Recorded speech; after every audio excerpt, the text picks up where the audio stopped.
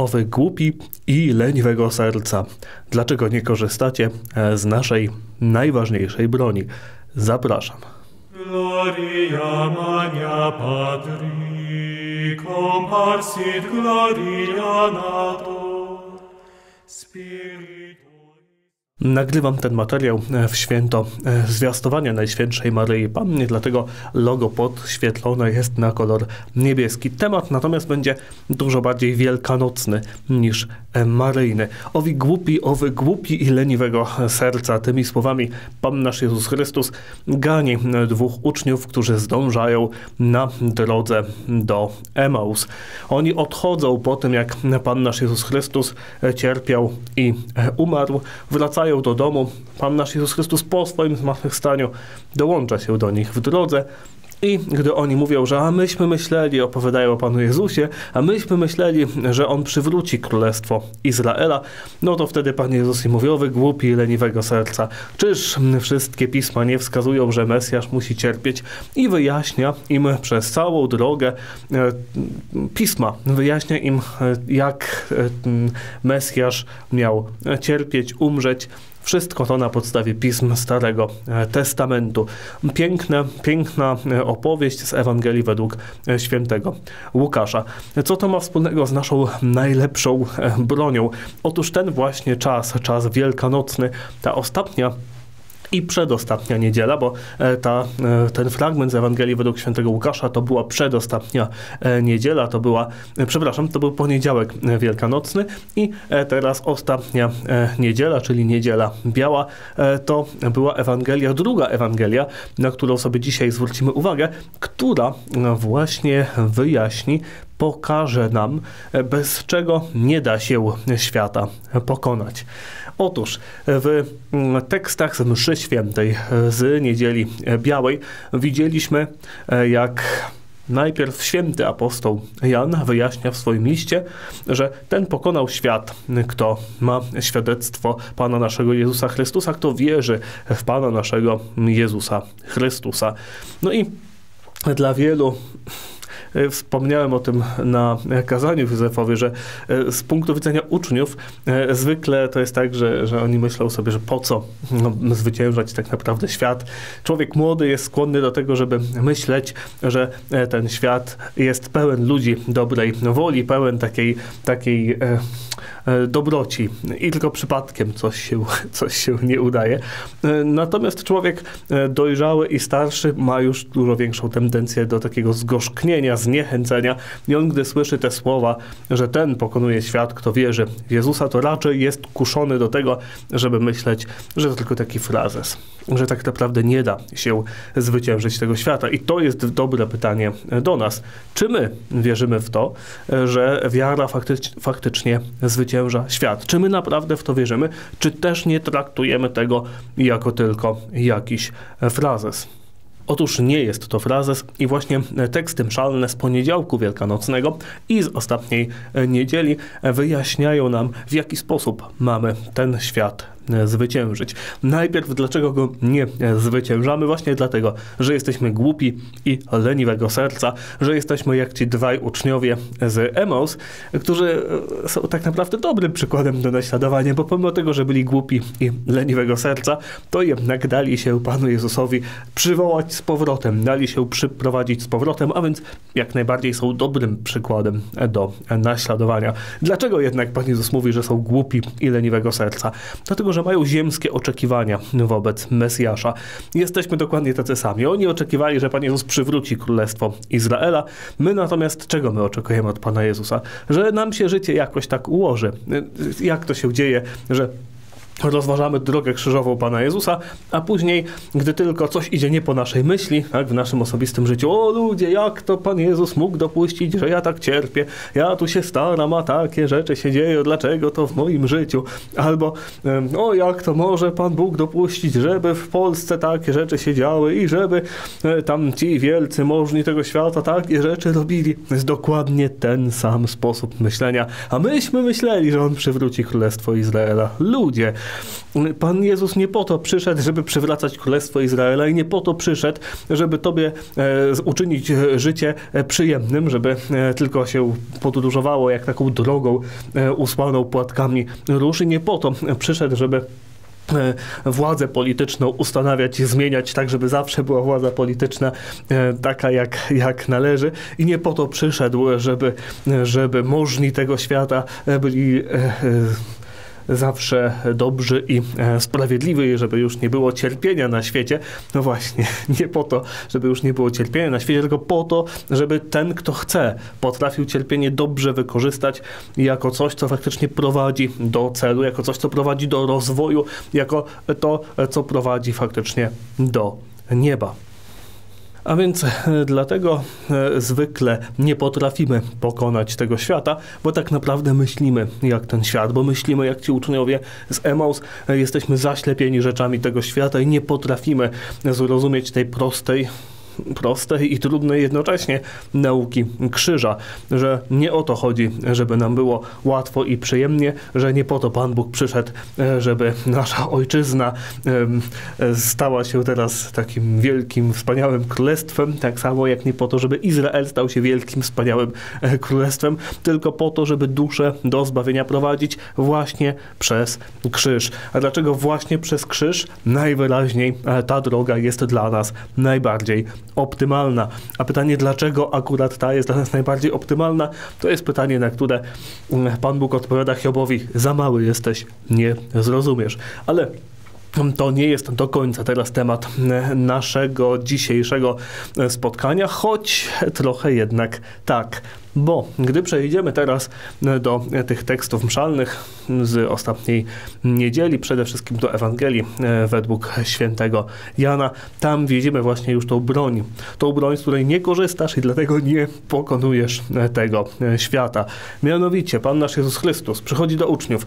Uczniowie są przerażeni, zamknięci w wieczerniku jak czytamy, z obawy przed Żydami. A więc uczniowie zamknięci. Pan Jezus przychodzi do nich, pokój wam, mówi do nich. Powtarza jeszcze raz, pokój wam. Pokazuje im e, swoje e, rany na rękach rane w boku pokazuje, że to faktycznie jest on, że to nie jest tylko duch jakiś, tak, tylko że faktycznie zmartwychwstał.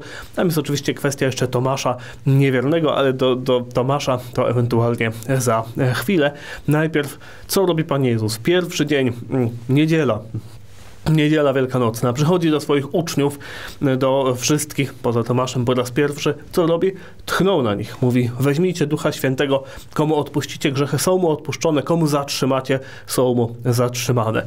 To jest to, co niesie pokój. To jest ta broń, która pozwala pokonać złego ducha. To jest ta broń, która pozwala pokonać świat. To jest odpowiedź na to pytanie, z jakiej broni nie korzystamy. Dlatego wszystkie te takie kontrrewolucyjne ruchy, które nie są ukorzenione w sakramentach świętych, dlatego one wszystkie muszą przegrać.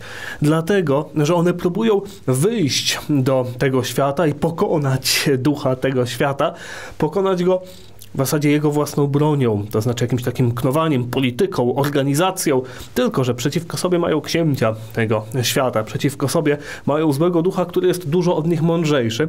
E, i gdy próbujemy walczyć na jego polu, to oczywiście musimy przegrać. Dlatego my musimy tę walkę toczyć na naszym polu, na tym polu, które zostało nam wyznaczone przez Pana naszego Jezusa Chrystusa. I to jest właśnie to pole, to jest pole sakramentów świętych, to jest pole najświętszej ofiary wiary. To jest to, co od Pana Boga otrzymaliśmy, żeby ten świat pokonać. Pokój wam. To jest pierwsza podstawowa rzecz. Ten, kto walczy z tym światem, musi mieć w sercu pokój, a pokój będzie miał właśnie poprzez sakramenty święte. Bo człowiek, który oczyszcza się ze swoich grzechów. Człowiek, który zrozumiał, zrozumiał, że tak naprawdę wszystko już ma, że on tak naprawdę już zwyciężył. Człowiek, który zrozumiał, że jego cel jest zupełnie w zasięgu jego ręki. Nie dlatego, że jest dla nas naturalny, bo zupełnie nas przerasta, ale dlatego, że Pan Bóg dał nam takie proste środki, że dał nam sakrament spowiedzi, w którym możemy nieustannie się z naszych grzechów oczyszczać. To jest tak wielkie Boże miłosierdzie, tak bardzo do nas dostosowane, bo przecież my grzeszymy wciąż na nowo, jesteśmy słabi i upadamy. Nasza natura taka jest, chwiejna i słaba i dlatego otrzymaliśmy tak prosty, tak dostępny środek do oczyszczenia z naszych grzechów. Rozważmy, jak aniołowie tylko jedną decyzję podejmują i już trwają w niej na wieki, bo właśnie taka jest ich natura. My natomiast przez to, że jesteśmy również e, tymi zwierzętami, to znaczy zwierzętami rozumnymi, a więc mamy zarówno e, tą, ten, te elementy stricte zwierzęce, jak i te elementy stricte duchowe, ale te elementy stricte zwierzęce wprowadzają nas w taką chwiejność, niepewność, w bardzo dużą zmienność i dlatego otrzymaliśmy też środki naprawcze dostosowane do tej naszej chwiejności i zmienności i tak możemy w każdej chwili się z naszych grzechów oczyścić. Jakże, jakaż to jest uspokajająca myśl, że e, jeśli chodzi o mój cel, najważniejszy, jedyny, ostateczny cel, to nie muszę się martwić o to, że, że mm, jakoś przypadkiem e, go nie osiągnę, bo mam cały czas pod ręką te środki zaradcze. Chociażbym wpadł w grzechy e, wciąż na nowo, mogę w każdej chwili przyjść do spowiedzi, w każdej chwili kapłana o spowiedź poprosić, z moich grzechów się oczyścić, walkę podejmować na nowo. Pan nasz Jezus Chrystus przecież po to właśnie ten sakrament ustanowił. Przecież właśnie dlatego ten sakrament jest tak ustanowiony, że wciąż na nowo można do niego przyjść, po to, żebyśmy wciąż na nowo do niego przychodzili. Dusza, która to zrozumiała, to jest dusza, w której faktycznie ma szansę zapanować prawdziwy pokój. To jest dusza, która zrozumiała, że ona już zwyciężyła. I teraz oczywiście ta dusza nie może po prostu poprzestać na tym, powiedzieć sobie, o wspaniale, dobra, to już teraz, to ja teraz już nic nie robię. Kto nie pracuje, niech też nie je, mówi święty Paweł i Pan nasz Jezus Chrystus. Po tym, jak mówi do apostołów, pokój wam, nie tylko rozsyła ich, żeby odpuszczali grzechy, ale też każe im, już później przed swoim e, w niebo wstąpieniem, mówi im, idźcie, nauczajcie wszystkie narody, chrzcząc je w mię Ojca i Syna i Ducha Świętego. A więc e, mają obowiązek pójść i robić, co się da. Ale właśnie z tym nastawieniem, dopiero z tym nastawieniem to ma sens. Dopiero wtedy, kiedy zaczerpnęli tego pokoju, z tych Bożych sakramentów. Dopiero wtedy, kiedy oczyścili się we krwi baranka, dopiero wtedy, kiedy przystępują do tego ołtarza Bożego, na którym stoi ten baranek jakby zabity, nawiązując do Księgi Apokalipsy. Dopiero wtedy, kiedy zaczerpnęli tego boskiego pokoju, faktycznie mogą z radością i odwagą iść poprzez ten świat, poprzez ten świat, który faktycznie na zaksięcia tego złego ducha, który faktycznie czyha na duszę ludzką, który faktycznie jest, gdy na niego spojrzymy, tak powiedzmy uczciwie i spokojnie, jest zniewolony przez złego ducha, w którym naprawdę jest mnóstwo takiej podłości, złości, e, jeśli chodzi o tą powiedzmy takie mm, knowania na tym najwyższym szczeblu, to faktycznie może być przerażające. Jak wiele jest takiej antykultury, jak wiele jest takich czynników e, już nie tylko antyboskich, ale w ogóle nawet antynaturalnych, bo oczywiście gdy coś jest antyboskie, to z czasem odwróci się również przeciwko naturze, jak to naprawdę widzimy w tych współczesnych prądach e, takich nienawidzących życia, tych prądach nienawidzących istnienia, gdzie właśnie najlepiej, żeby niczego nie było, żeby dzieci nie było, żeby zwierząt nie było, żeby samochodów nie było, żeby niczego niczego najlepiej nie było. To jest taka czysta nienawiść, czysta diabelska nienawiść, ubierana w jakieś tam ładne słówka. Na przykład o ekologii, no co oczywiście jest absolutną bzdurą, to, to widać tak od razu na pierwszy e, rzut oka, że tym ludziom o żadną ekologię nie chodzi, tylko chodzi o to, żeby niszczyć, żeby nie było życia, żadnego życia, no przede wszystkim ludzkiego, ale najlepiej w ogóle żadnego życia, żeby nie było, bo nie ma nic wspólnego z ekologią promowanie na przykład samochodów elektrycznych, gdzie produkcja tych e, baterii jest dużo mniej ekologiczna niż jeżdżenie przez 30 lat e, dieslem. Ale kogo to obchodzi? Tak? Ważne, żeby niszczyć, ważne, żeby ludzie nie mogli e, podróżować, ważne, żeby ludziom odebrać wolność, bo w praktyce do tego się, e, się ostatecznie sprowadzą te, te powiedzmy rewolucje w środkach lokomocyjnych. Wszyscy jesteśmy więc jak ci uczniowie Ezemaus. Myślimy po ziemsku, myślimy w duchu tego świata, myślimy po ludzku. Chcielibyśmy z tym światem walczyć jego metodami, tak jak właśnie ci uczniowie Ezemaus. A myśmy myśleli, że on przywróci Królestwo Izraela. A myśmy myśleli, że tu Pan Jezus poustawia to wszystko. A myśmy myśleli, że on sprawi, że ja cierpieć nie będę. Porzućmy tego ducha, pozwólmy się tak jak ci uczniowie z Emaus, za którymi Pan Jezus cierpliwie szedł. To jest też tak bardzo uspokajające. To jest też tak tak bardzo piękne, że Pan Jezus idzie za nimi. Oni mają dobrą wolę, tylko są głupi i leniwego serca. Ale Pan Jezus pójdzie za nimi, będzie im tłumaczył, będzie im wyjaśniał. To samo robi Kościół Święty przecież nieustannie z nami. Wyjaśnia i tłumaczy. Oczywiście w swoim tradycyjnym, tradycyjnym magisterium, bo Bo współczesny kościół, dlaczego zawsze muszą być jakieś przytyki no nie, nie, wobec współczesnego kościoła? No nie da się inaczej. No bo jak mam mówić spokojnie o tym, że kościół tłumaczy nam, jak dzisiaj kościół nie tłumaczy, a więc macie tłumaczyć to do, do duchowieństwa. Bo co dzisiaj nam kościół tłumaczy? Że nie, w ogóle świata nie trzeba pokonywać. Świat jest dobry, wspaniały, nie ma nic lepszego niż ONZ, WHO i e, samochody elektryczne, ekologia i e, znowu to, co mówię, w ogóle nie jest przeciwko ekologii, bo ekologia jest dzisiaj tylko wykorzystywana przez tych świrów e, do tego, żeby, e, żeby niszczyć, żeby zabijać, e, żeby odbierać mm, nie życie, ale też majątek, tak, wolność, wszystko odbierać, żeby niczego nie było. Tutaj mieliśmy z kolei naszego własnego polskiego proroka, który zapowiadał tą wielką politykę światową, światową XXI wieku, żeby niczego nie było. To jest hasło, pod którym dzisiaj idą możni tego świata. I Kościół im wtóruje. Przecież praktycznie cała ta agenda w służbie niby ekologii to nie ma nic wspólnego z ekologią. Przecież dzisiaj to wszystko mamy w Rzymie. Wszystkie te szalone regulacje też pamiętamy z czasów, z czasów około pandemicznych. Przecież Kościół robił dokładnie to samo, co możni tego świata, czasami nawet jeszcze mocniej niż możni tego świata. Pamiętamy do dzisiaj te przerażające komunikaty episkopatu do rządu, żeby jeszcze bardziej zamykał, jeszcze bardziej ograniczał, żeby jeszcze mniej wolności było, bo przecież trzeba e, walczyć z wolnością, nie z chorobą, znaczy tak, tak naprawdę oczywiście z wolnością. Wszyscy jesteśmy więc, jak ci uczniowie z Emaus. Wszyscy mamy takie tendencje, ale chodzi o to, żeby pozwolić się Panu Jezusowi wciąż na nowo przyprowadzać właśnie w jego tradycyjnym magisterium, w tradycyjnym magisterium Kościoła. Kościół Święty nieustannie nas przyprowadza, przypomina nam, co jest najważniejsze i przypomina nam, jak pokonać ten świat. Tak jak Pan Jezus to pokazuje. Pokój Wam.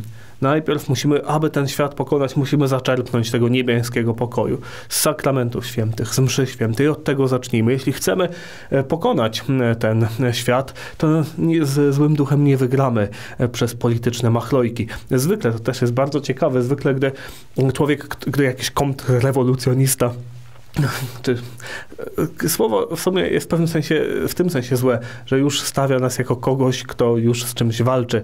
My natomiast naszym celem nie jest walka z kimś, z czymś.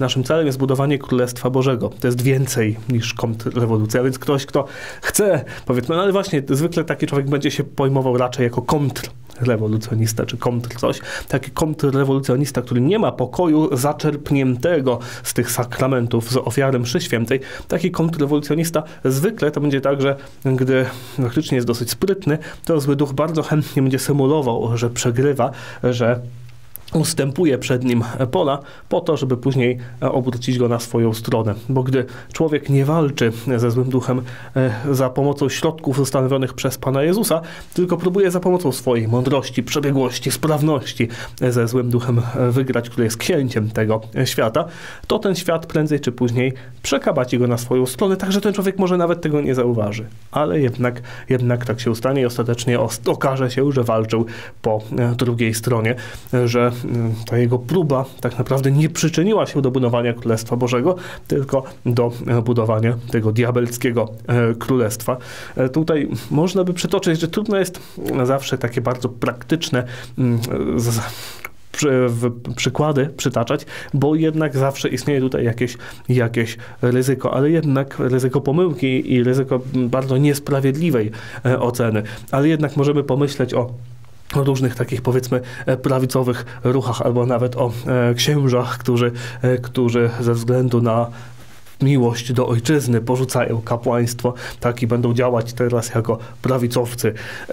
Myślę, że dobrze rozumiemy, tak? że, że w tym nie ma nic zbudowania Królestwa Bożego. Nie da się go zbudować na krzywoprzysięstwie, na złamanie danej uroczyście przysięgi Panu Bogu. Nie da się tego zbudować w ten sposób. I człowiek, który łudzi się, że coś się zrobi w ten sposób, no właśnie, został już zwiedziony przez złego ducha. Po raz 30 chyba w tym materiale powtarzam, bądźmy więc jak uczniowie z Emaus, pozwólmy się Panu Jezusowi przyprowadzić. Rozpoznają Go oni przy łamaniu e, chleba i wracają do wieczernika. I my wracajmy do wieczernika, my wracajmy nieustannie do przenajświętszej ofiary Pana naszego Jezusa Chrystusa. Wracajmy nieustannie do sakramentu spowiedzi. Zadbajmy przede wszystkim najpierw o to, żeby nasza dusza była z Panem Bogiem zjednoczona. Zadbajmy przede wszystkim o nasze życie sakramentalne. I wtedy, wtedy jest szansa, że to nasze serce będzie przepełnione tym pokojem, którym Pan Jezus pragnie nas obdarzyć, tym niebiańskim pokojem, który daje jednocześnie siłę, który daje jednocześnie siłę do działania. Bo ten człowiek, który ma ten pokój, może wyjść do tego świata właśnie z tym przekonaniem, że ja jestem bezpieczny, moja dusza jest bezpieczna, teraz niech ten świat się korzy. I to oczywiście, że to jest dobre podejście, oczywiście, że to jest właściwe podejście, bo tak powinien człowiek, który jest uczestnikiem boskiej natury, ten świat traktować. To znaczy deptać te węże i skorpiony, niszczyć e, to działanie złego ducha na tyle, na ile potrafimy.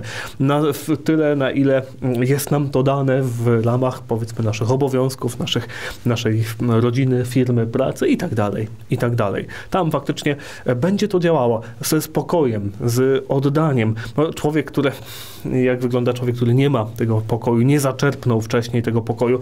Czasem może tak być, że nawet korzysta z sakramentów, ale nie rozumie, co jest najważniejsze. Jest przerażony. O, jak ten świat jest niebezpieczny, groźny, co ja tam mogę zrobić? Człowieku, możesz zjednoczyć się z Panem Bogiem, stać się uczestnikiem boskiej natury i ty się boisz jakichś bzdetów, jakichś polityków, którzy e, rozstrzygają ziemskie sprawy.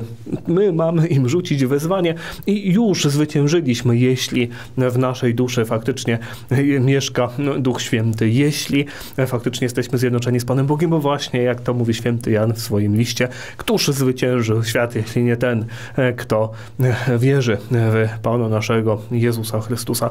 Z takim nastawieniem, z tym pokojem, z pewnością tego swojego e, zwycięstwa. Oczywiście nie pewnością w tym sensie, że jestem pewny mojego zbawienia, bo tego nigdy nie możemy być pewni, ale ze spokojem wynikającym z tego, że mam środki, które pozwalają mi tak łatwo ze wszystkich moich grzechów się oczyścić. Z tą pewnością i spokojem człowiek może wyjść i faktycznie budować Królestwo Boże. Właśnie nie być kontr czemuś tam, albo ja muszę kogoś tam, bo coś tam wielcy nieprzyjaciele. Budować Królestwo Boże. To jest nasze zadanie. To zjednoczenie z Panem Bogiem jest naszą największą, najpotężniejszą bronią. Bądźmy po raz 31 jak uczniowie z Emaus. Wróćmy do wieczernika, wróćmy do przenajświętszej ofiary Pana naszego Jezusa Chrystusa. Znowu nie powstrzymam się przed antymodernistycznym wstrętem.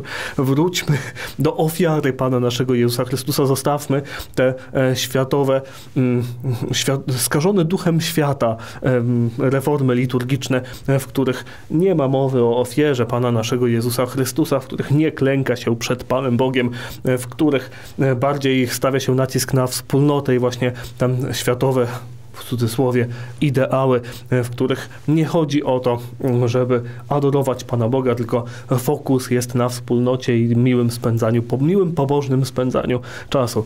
Wróćmy do wieczornika, do przenajświętszej ofiary Pana naszego Jezusa Chrystusa, do spowiedzi świętej i wtedy niech świat drży.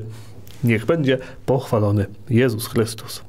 Gloria magna Patri, comparsit gloria nato, Spiritui Sancto, gloria magna Deo.